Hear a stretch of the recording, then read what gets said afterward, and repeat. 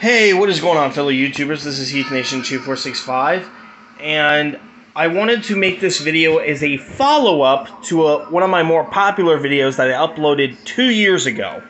For those of you that don't want to don't know what I'm talking about, sorry if I'm stuttering a bit. I'm operating on a few hours of sleep here, but um, back in 2020, I uploaded a video when the Chinese virus was still a thing where I ranted about Dish Network and how they were screwing over their customers, how they kept blacking out uh, Fox Sports so that way we couldn't watch Reds games, we couldn't watch the Blue Jackets games.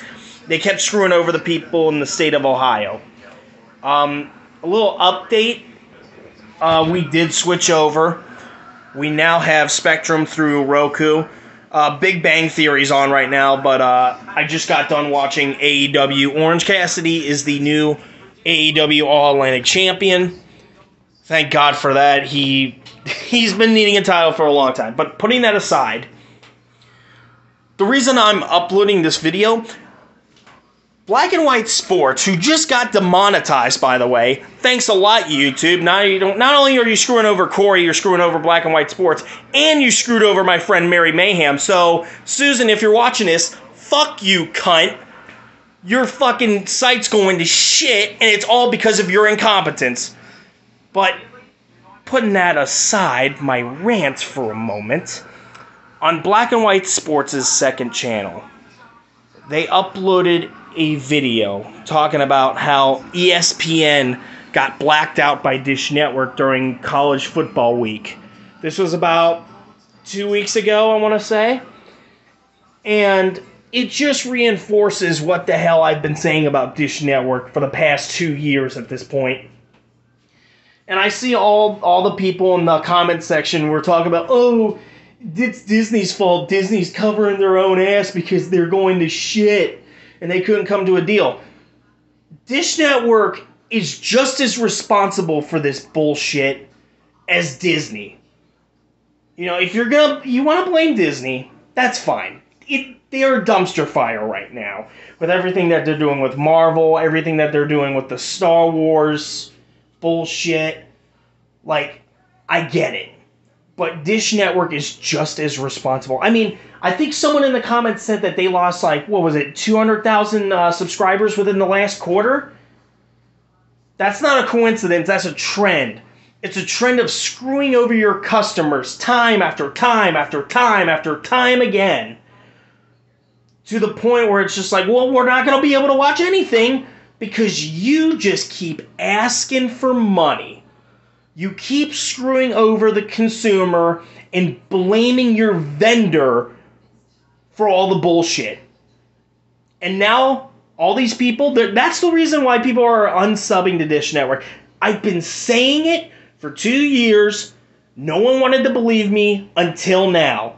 Dish Network has become a fucking dumpster fire because they don't give a fuck about providing their consumers with proper entertainment. They only care about the bottom line money. And they have no issue blaming all these other companies. Well, you just couldn't come to the table and make a deal. You couldn't just make an agreement.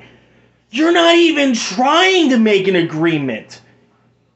You're not even trying to an ex- accept an offer. You're not even trying to do what's best for your consumers. You're just letting them walk over you while you walk over the consumer. And that's why people are unsubbing to your shit, Dish Network.